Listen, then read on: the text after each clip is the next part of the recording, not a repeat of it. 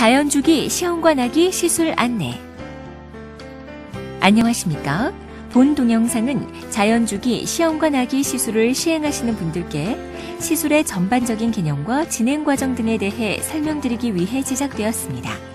이어지는 내용을 참고하셔서 편안하고 성공적인 시술이 이루어질 수 있도록 협조해 주시기 바랍니다. 시술의 개념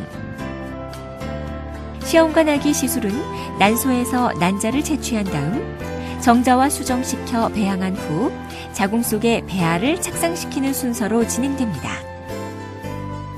여성의 난소에서는 한 번의 생리 주기에 한 개씩의 난자만 배란되는데 일반적인 시험관 하기 시술에서는 임신 성공률을 높이기 위해 인위적으로 배란을 촉진시키는 약물을 투여하여 한꺼번에 여러 개의 난자를 성숙시킨 후 채취하는 과배란 유도를 사용합니다.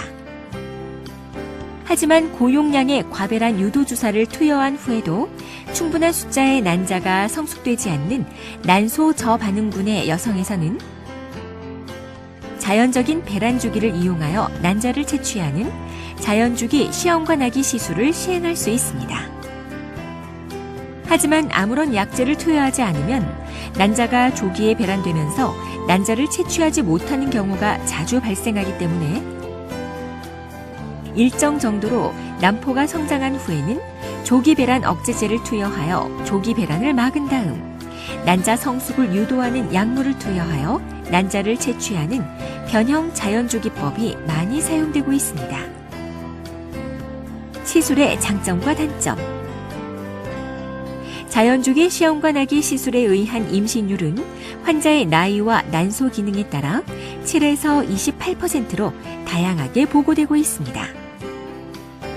자연주기 시험관하기 시술은 호르몬제를 최소한으로 투약하기 때문에 비용 면에서 경제적이고 인체의 스트레스가 적다는 장점이 있을 뿐만 아니라 과배란 유도제에 의해 난소가 지나치게 자극을 받으면서 난소가 커지고 부종, 복수, 부역, 구토, 호흡곤란 등이 나타나는 난소 과자극 증후군이 거의 없다는 장점이 있습니다. 또한 여성의 생리 주기에 따라 연속적인 임신 시도가 가능하고 고용량의 호르몬 투약이 없으므로 기존의 과배란 유도 시험관 아기 시술에 비해 착상의 향상을 기대할 수 있습니다. 하지만 자연주기 시험관 아기 시술은 조기 배란이나 난자 채취 실패 등 주기 취소에 의한 치료 중단이 흔히 발생할 수 있습니다.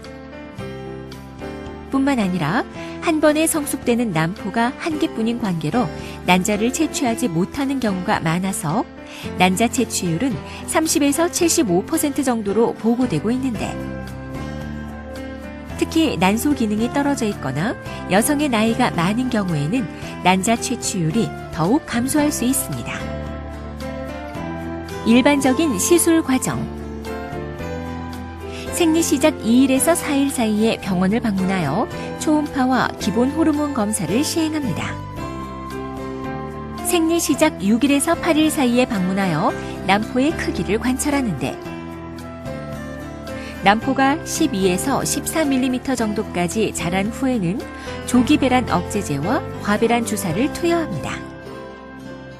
의료진은 남포가 일정 크기가 될 때까지 관찰한 다음 난자 성숙을 위한 약제를 투여하고 난자 채취 일정을 결정합니다. 난자 채취는 국소 혹은 수면 마취 하에서 이루어지며 주치의와 상의하여 결정됩니다. 한편 자연주기 시험관 아기 시술은 한 번에 한 개에서 두 개 정도의 난자만 채취할 수 있으므로 경우에 따라서는 임신율 향상을 위해 서너 번의 시술을 통해 두 개에서 네 개 이상의 냉동 수정란을 모은 다음 이식하기도 합니다. 기타 사항 자연주기 시험관 아기 시술은 난소 기능이 저하된 여성에서 유용하게 시행될 수 있습니다. 하지만 과배란 유도를 통한 시험관 아기 시술에 비해 주기 취소가 빈번하고 임신율이 낮으므로 임신이 성공할 때까지 여유 있는 마음을 가지는 것이 중요합니다. 그리고 건강한 신체 유지를 위해 운동요법과 식이요법을 병행하면 더욱 좋은 결과를 기대할 수 있습니다.